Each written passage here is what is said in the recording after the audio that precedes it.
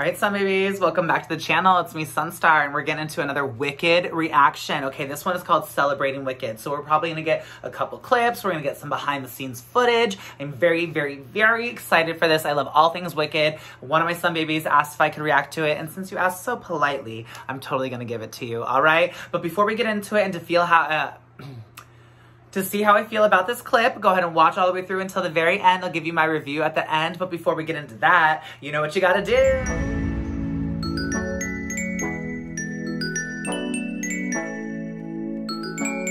All right, Sun Babies, let's go ahead and check out Celebrating Wicked.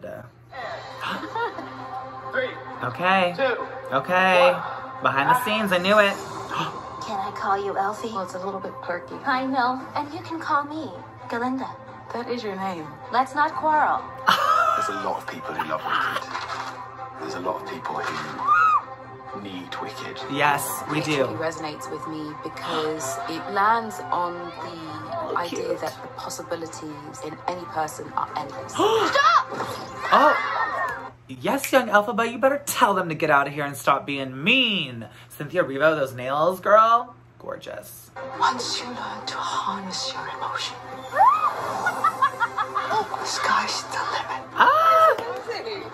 As a fan, as a person who's loved this for 20 years, I know that this fights for truth and the complexities of being misunderstood. Yeah. You, come with me. Of course. Not you, Oh! you, Miss Elphaba.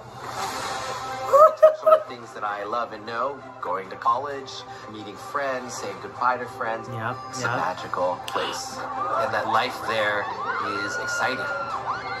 It's the place where your dreams begin. It is my heart's desire to become a sorceress. Thank you. And it's all about identity, I think, and finding yourself and aligning what your belief system is with your actions. No one should be scorned or laughed at or told to keep quiet.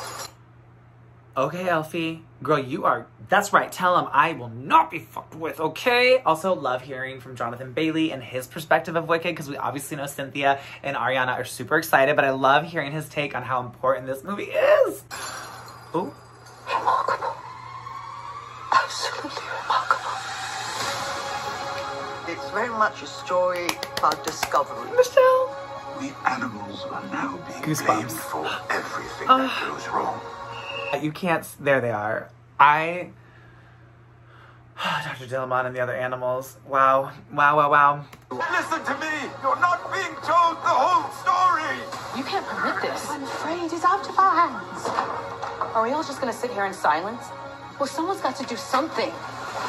Wicked is about a relationship with other people, and the quality of those relationships can transform your life.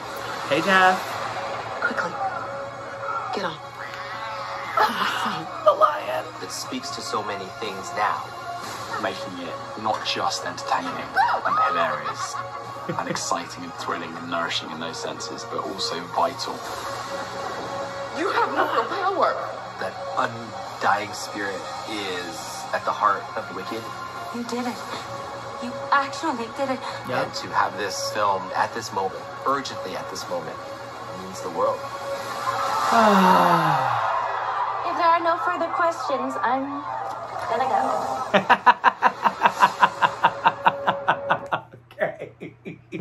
the few little second clips that we get of the new, like, new stuff, like that, like, okay, I have no more questions. I'm gonna, that was brilliant. I had goosebumps pretty much the entire time. I cannot tell you how important this movie is to me in this time in my life right now.